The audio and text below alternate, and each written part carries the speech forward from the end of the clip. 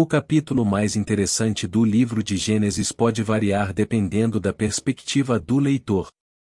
No entanto, alguns capítulos são frequentemente destacados por sua importância e relevância na narrativa bíblica. Aqui estão alguns exemplos.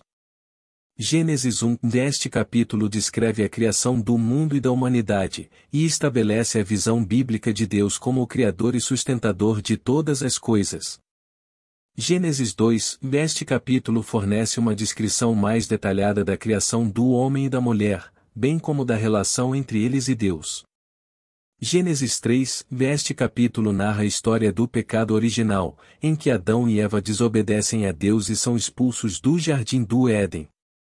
Esta história é fundamental para a teologia cristã e a compreensão do pecado e da redenção.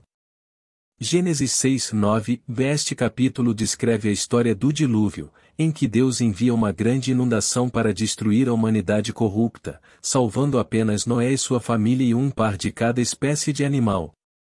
Gênesis 12, Este capítulo marca o início da história de Abraão, considerado um dos patriarcas mais importantes do judaísmo e do cristianismo. Deus faz uma promessa a Abraão, de que sua descendência seria uma grande nação e que ele receberia a terra de Canaã como herança. Gênesis 22, este capítulo narra a história do sacrifício de Isaque, filho de Abraão, em que Deus testa a fé de Abraão pedindo-lhe para sacrificar seu filho.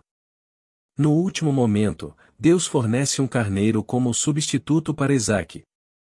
Gênesis 37 50 Este capítulo conta a história de José, filho de Jacó, que é vendido como escravo pelos próprios irmãos e acaba se tornando governador do Egito. A história de José é uma das mais emocionantes e dramáticas do Antigo Testamento, envolvendo traição, intriga, perdão e redenção.